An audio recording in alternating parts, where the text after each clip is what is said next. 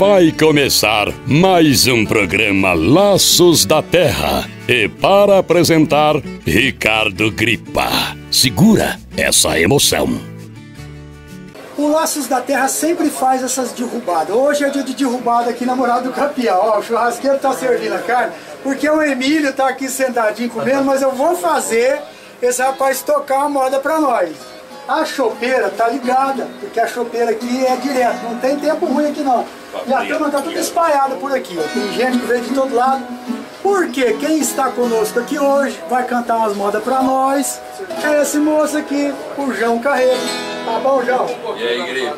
Bom demais, Tô bom, bonito e mentiroso, João.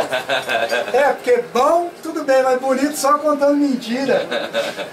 Nós vamos cantar umas modas aqui, conversar um pouco com o João Carreiro, falar dessa nova fase dele, uma nova fase de carreira que ele vem atual, falar um pouco sobre pandemia, o que, que aconteceu, daqui a pouquinho. Vai começar agora o Laços da Terra.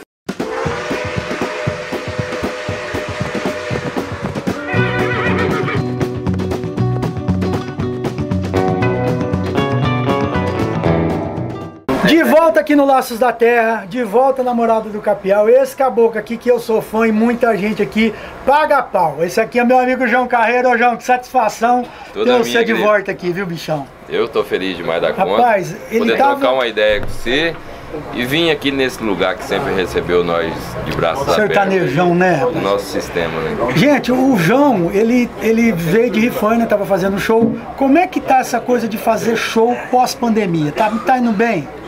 Rapaz, graças a Deus tá, tá muito bom. Eu acho que assim, pra todo mundo do da cantoria, como diz o outro, e da área do entretenimento também, né? Todo mundo tá com vontade de reunir e, e eu acho que também tá tendo uma verba boa aí, Uma tá verba sobrando, boa, é. porque ficamos dois anos sem fazer show nenhum, né? E existe uma verba que ela é destinada para cultura, para esse tipo de evento e ela não foi gasta. Não foi gasta, agora tá sobrando. E, isso, e não tem como passar isso para saúde ou para educação, ela tem que ser gasta na cultura. Na cultura. E graças a Deus tá sendo gasto com nós. Pra você que tá assistindo, é bom você já ir se acostumando, porque aqui é gravação de boteco. Aqui a galera tá toda almoçando, a chopeira tá ligada. Estamos passando o som aqui no Capial já para preparar pro João Carreiro. Eu gosto de conversar, mas eu gosto de ouvir moda. O que, que você vai cantar para nós começar prosa? Vou cantar um pedacinho da uma moda minha que eu gosto muito e pra mim a felicidade é uma música de viola que tem andado bastante e eu fiz ela com muito carinho, que é com uns vizinhos meus lá de São José do Rio Preto, que eu morei lá na época, que é a Tereza e o Reinaldo. Tereza e o Reinaldo. Um abraço pro Reinaldo lá da Babilônia, o seu Reinaldo aí, ó. Serve pra você. Chama Casinha Verde. Aí, ó, chegou o recurso. Chegou o recurso. O bom é isso, gente. Aqui não tem tempo ruim. Pobre daquele que pensa que ser feliz nesse mundo é ter riqueza. Feliz é o Reinaldo que tem Deus no coração, a família unida e a companheira Teresa.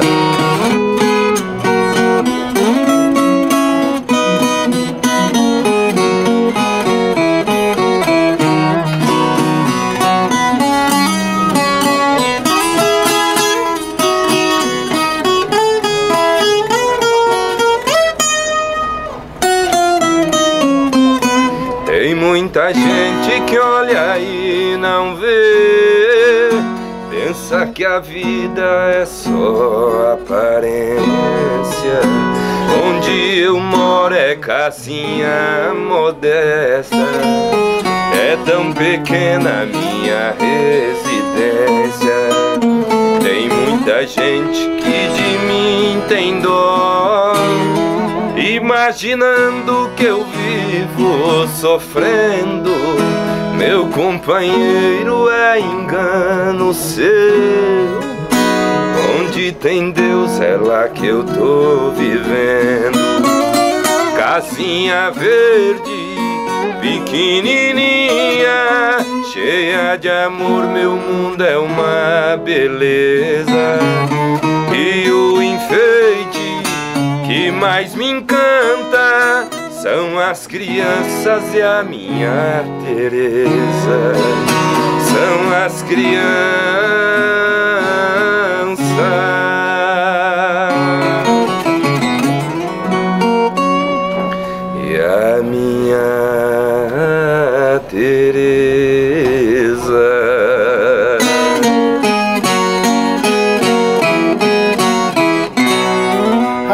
Põe sentimento nesse trem aqui, multiplica por dois, vai ter doido. Ô João, essa moda é composição sua? Porque você tem um cunhado, né? Isso, é letra minha. Da um, eu sei que é do primeiro disco, é da época do que tinha o Carreiro lá, A né? dupla, é. que era a dupla. Mas eu também sei que você tem essa coisa desse sentimento de puxar essas coisas de história. Até hoje ainda tá firme. Graças a Deus, rapaz, a maioria da, da minha história musical, vamos dizer assim, a grande parte das músicas é composição minha. Composição. E Aí tem umas sozinha, tem outras que é com algum outro parceiro, né? Rapaz, tal dessa inspiração é um trem esquisito. Porque, tipo assim, pelo menos comigo acontece de várias formas, né? Hum. Às vezes você tá triste, tipo assim, expondo sentimento. Às vezes você tá feliz, às vezes você tá triste. E às vezes tem coisa também que você escuta e acha bonito demais. Às vezes não sai nada na hora. Mas aquilo fica na cabeça E aí ruminando, e, e aí uma indo. hora o trem vem. É. Eu não sento pra fazer moda, eu não, não consigo fabricar, vamos Tá. dizer assim. Vem eu só por espero inspiração sem- mesmo. Espero a inspiração vir mesmo. inspiração vi mesmo. Essa E é o trem mais engraçado, quando vem é coisa de 15 minutos, já o trem tá já pronto, sai pronto. já é. sai. Eu ouvi falar uma vez, eu fui entrevistar o Bruno Marrone, porque eu gosto muito do Bruno, e ele chegou pra mim assim, ó Gripa, tem vezes que eu tô indo pro banheiro, eu já levo o celular, que eu já vou fazer o serviço, já começo a compor e cantar. Só que eu tenho que gravar, senão eu esqueço. Mas esquece. Laços da Terra. Oferecimento. Troncos Triângulo. Matrine. Alô galera, aqui quem fala é o João Carreiro, viola no peito e pronto pra guerra. E tô aqui no programa Laços da Terra, vem com nós. Matrine. Tecnologia e inovação na proteção de diversas culturas. Matrine é uma acaricida inseticida que age pelo contato e de maneira sistêmica na planta. O produto é indicado tanto para grandes culturas como para hortifruti, agindo no controle e eliminação de diversas pragas. Matrine é um produto natural. Com essa formulação, Matrine não deixa resíduos nas plantas e nem no solo. Conheça mais sobre Matrine pelo site. Isso é inovar com responsabilidade. Isso é Dinagro.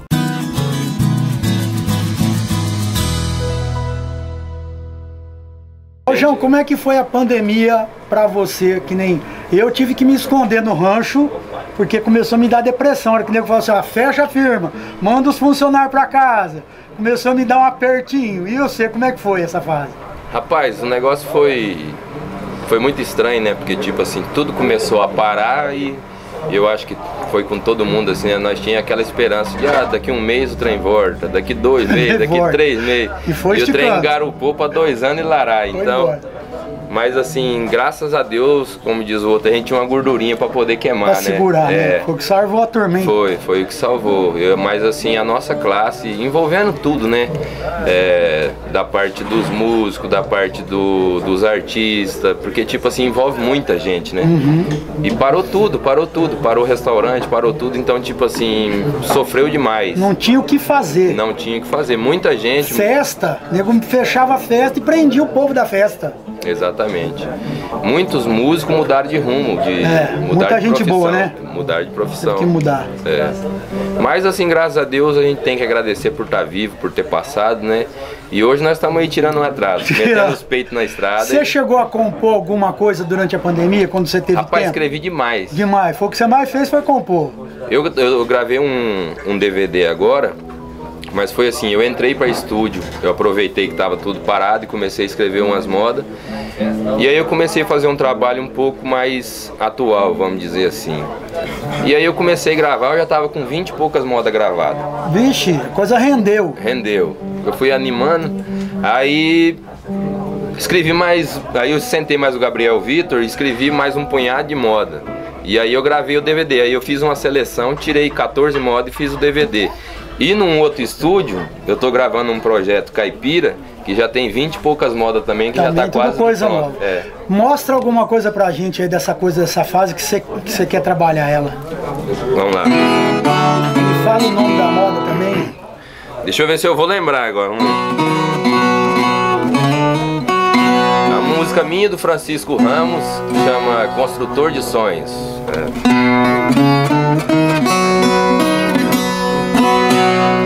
Muitos me julgam apenas pedreiro que bate massa e faz o concreto. Mais um braçal de janeiro a janeiro que só dá forma aos traços do arquiteto.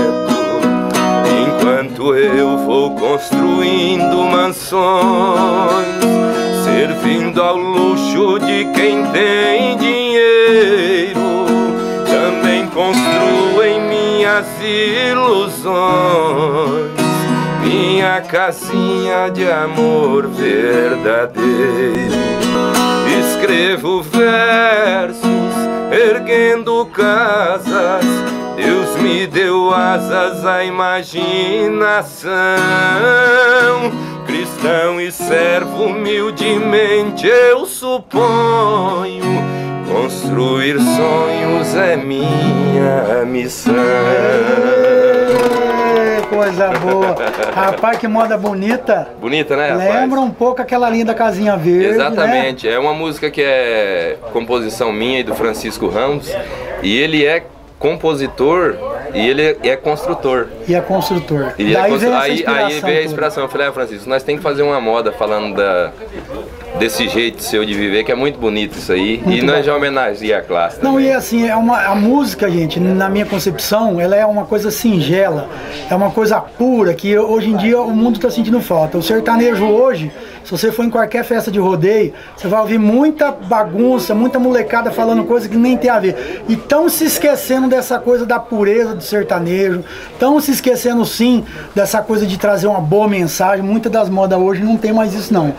Me fala um pouco do seu projeto Caipira, porque eu, quando eu começo a falar desses trem, eu, eu começo a falar, João. Rapaz, é, é, um projeto que, tipo assim, eu tô feliz demais de estar tá fazendo, sabe? Porque foi igual você falou.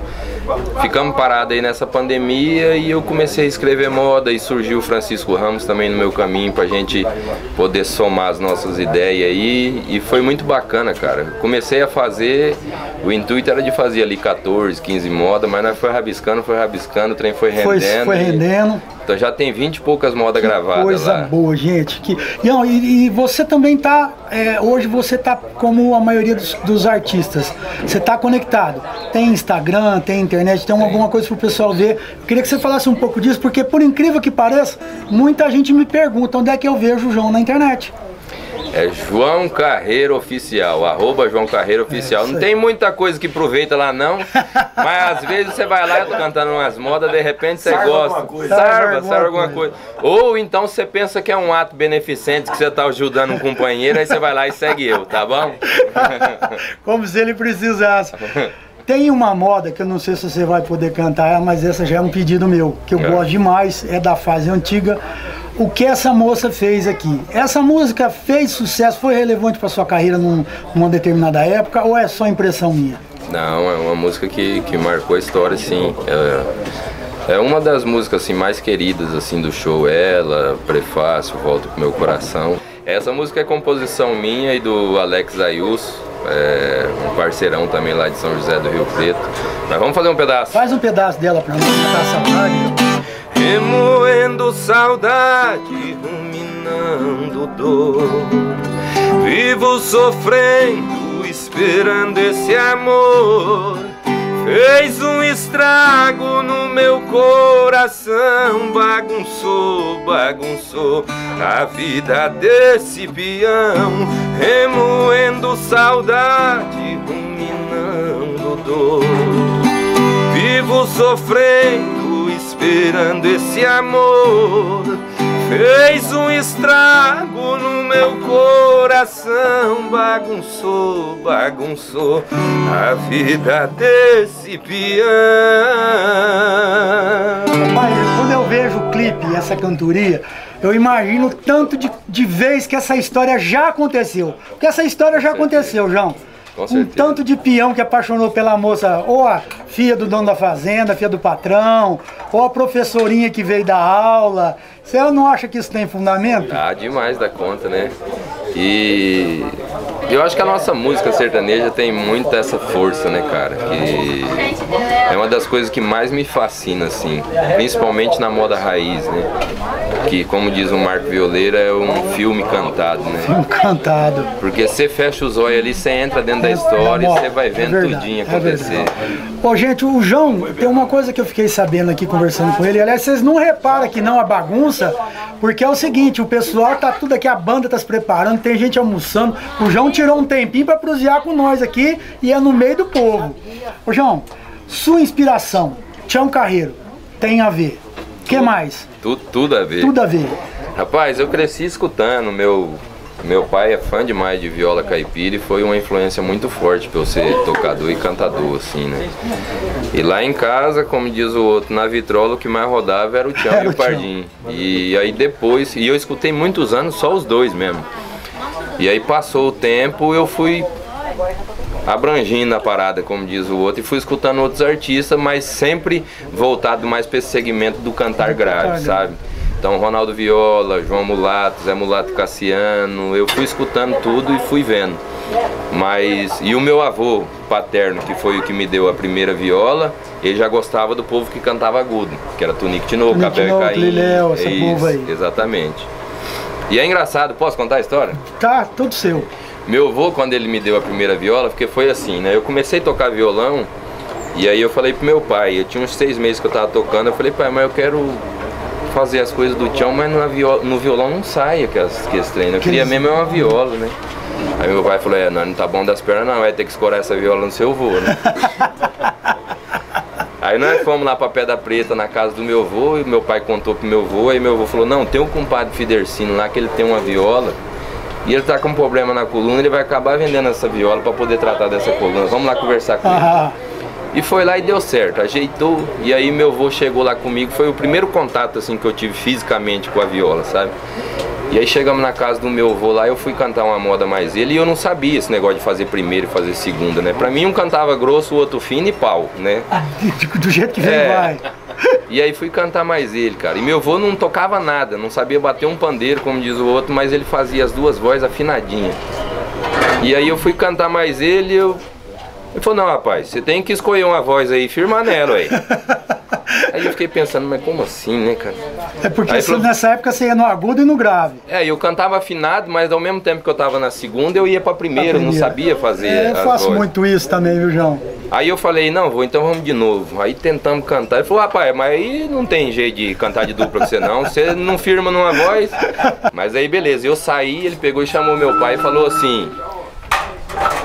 Ele chamou meu pai e falou assim: É o seguinte, você caça jeito de tomar a viola desse menino aí, porque ele vai parar de estudar e a culpa vai ser minha. E outra, nem cantar ele sabe, viu? Aí eu cheguei, cara, foi, foi bom eu ter tomado essa comida de rabo dele lá, porque eu cheguei, eu voltei pra casa e fiquei escutando muito chão, tipo assim, tentando anular Assimilar, o partido, né? é, e, e assimilar as voltas do chão. Ainda tô aprendendo, mas como diz outro, deu uma melhorada Deu uma boa. melhorada É. boa. O que, que você canta uma, uma dessa linha aí pra deixar o povo encantado? Porque você canta e encanta. Vamos lá. Vou cantar um verso então de uma moda que toda vez que eu encontrava com ele, nós cantávamos. Ah, Eu parti de Araraquara pra Goiás. Quando eu vim da minha terra, travessei Minas Gerais. Eu passei Campinas tristes. Lagoa dos Ananás. Os olhos lá me viram, de certo não me vê mais. Ê, Isso tem história, hein, gente? Aqui tem o que contar pra nós. E você não acredita que a minha avó fez eu cantar essa moda no velório dele? Uai, deixa eu te contar pra você. Quando morreu o Cartucheira, eu fui tocar berrante e os meus companheiros foram tocar viola. E quando eu morrer, eu já deixei sacramentado. Vai ter um barril de 50 ali de pinga. E se vocês puderem, vai tudo lá tocar viola também, tocar berrante pra mim. Pra fazer uma despedida boa. Eu acho bonito isso aí. Sim. Eu acho bonito. A minha avó chegou, rapaz, lá no meu ouvido e falou assim, meu filho, você tem que cantar uma moda. Eu falei, mas vó, como que eu vou dar conta de cantar uma moda? Ela falou, não meu filho, se tinha uma coisa que seu avô gostava nessa vida era moda caipira, você tem que cantar uma Tá, moda manda pra pra ele ele. na despedida. Aí até arrepio. A sorte foi que os, a família tudo sabia, conhecia a moda também, porque eu comecei a cantar e fui engolindo o caroço, E vai embora. água descendo dos Descendo olhos. dos olhos. E é engraçado, porque a história da moda fala de um amor e tal, mas é, é aquele negócio da gente desenhar na cabeça, né? Eu só via ele. Só Parece via que eu ele. tava me declarando pra, Pra ele, ele. sabe? Laços da Terra. Oferecimento. Dinagro Agropecuária. Gripa Camping e Náutica.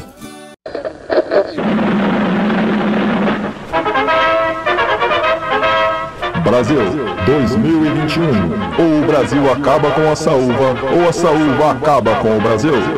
A formiga cortadeira trabalhava bem contente, eis porém que de repente certa coisa apareceu. E mesmo com a garoa, ela então não vacilou. E para o formigueiro logo, logo transportou. É a isca resistente que de cara foi matando. E nessa briga com a formiga, a isca resistente à umidade sempre sai ganhando. Produtor que usa Dinagro S resistente à umidade dorme tranquilo, pois sabe que vai produzir durante o ano todo, mesmo com a chuva e o orvalho da manhã. Compre agora em nosso site a isca que repele a água sem alterar sua estrutura e atratividade. Dinagro S resistente, sinônimo de tranquilidade. Dinagro. Eu quero falar agora para você, meu amigo, que é campista, que é pescador, que é desbravador, para você que gosta de navegar.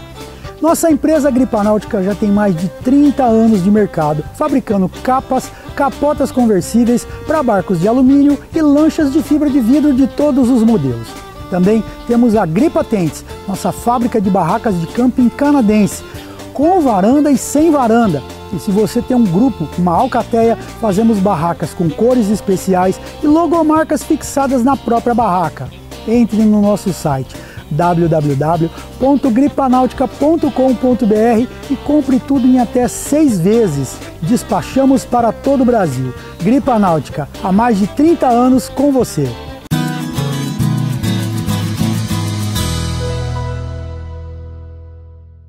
Ô João, o meu tempo vai começando a espremer, eu não gosto quando começa a espremer, mas eu queria. Mas quando te- espreme dá caldo. eu queria te espremer, te perguntar pra você. Tem uma coisa que acontece aqui na capial, viu, gente? Eu chego aqui falando português, saio daqui falando mineirês. Então eu já começo a falar uns você, umas portas, umas porteiras, diferente. Ó, eu vou encerrar nossa conversa, mas eu vou fazer uma intimada. Vai, O Emílio pode sentar aqui do nosso lado pra nós fechar com a moda, vocês dois brincando junto? pode, é Então claro. chega pra cá, vamos ajeitar. Ó, esse encontro aqui pra mim é histórico. Eu tô na capial, a turma tá tudo aqui, vocês estão vendo. O Emílio sentou pro João pra fazer uma moda. Isso é histórico. Até porque uma vez eu te pedi uma moda, que você falou assim, eu acho que eu não lembro a letra não, que você faz um ponteado, a história do capeta e tal. Você lembra que tem aquela coisa? Um sonho quando tinha um carreiro, mas a parte do capeta era o Duarte que faz. É, eu quero chegar a você. Mas vocês já ensaiou uma moda pra cantar aqui pra nós, pra nós encerrar essa conversa. É, na aproveitar a oportunidade e agradecer é, em público aqui o, o João Carreiro por ter aceitado participar com o Emílio na- nessa música, Um Sonho quando tinha um É, carreiro. aquela né? moda me marcou A música muito. tocou pra caramba, toca até hoje, né? Toca, Uma música bonito. muito bonita. Bonito. É, inclusive foi o, o, o Tássio que fez a viola, ele foi o violeiro fantasma do capeta, foi ele. É. O Agradecer o João por ter participado com a gente, foi Que muito isso, bom aquela Eu que participação a gente, agradeço, viu? eu que agradeço. Bom, hoje, hoje é uma alegria, né? Poder sentar com o João Carreiro, com o Emílio, fazer uma gravação dessa aqui na Capial sem É. compromisso, né? Eu- é, e hoje, mais tarde, eu. Mais, mais, mais tarde, mas vai, vai estar Mais tarde saindo. vai ter o tá, show. Tá gravado, tem o show, o show do João Carreiro. Eu, eu sou muito. Não é que eu sou metido, não, é que eu sou sistemático, eu fico quietinho em casa, eu não sou muito sair, não. Pra mim sair pra ver alguém, tem que, eu tenho que gostar muito Gostar mesmo. muito então tô mesmo. vindo aqui pra ver o João. Carreiro hoje, mais tarde. Então vamos cantar uma moda aí pra ajeitar mas não ensaiou, programa. não, vai sair aqui assim. É meio- dupla que nunca foi baiana, nunca cantou junto.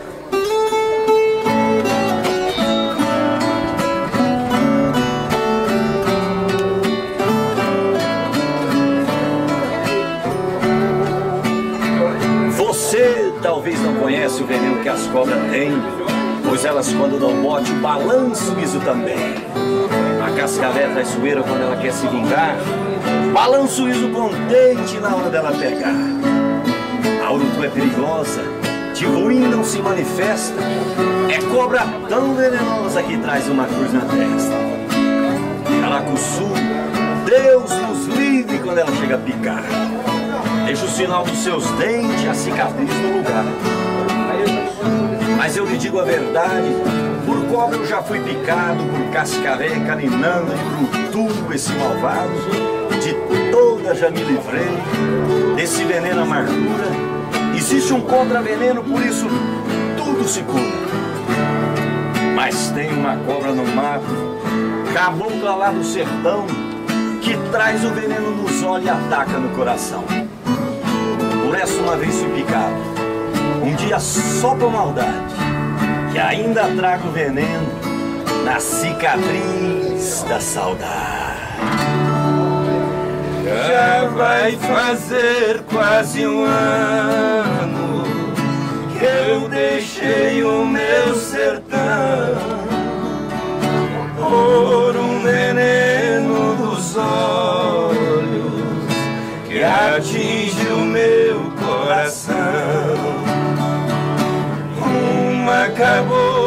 do mato que tanto mal tem me feito.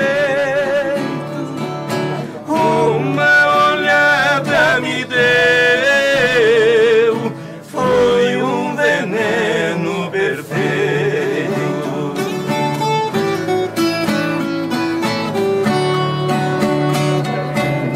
Esta cobra venenosa,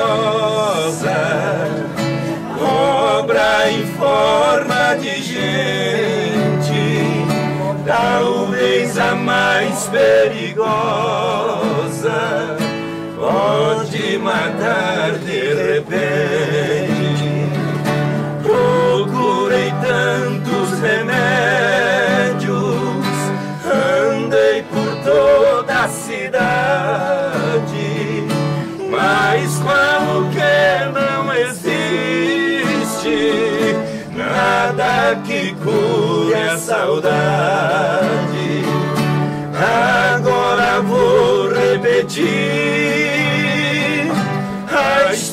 História mais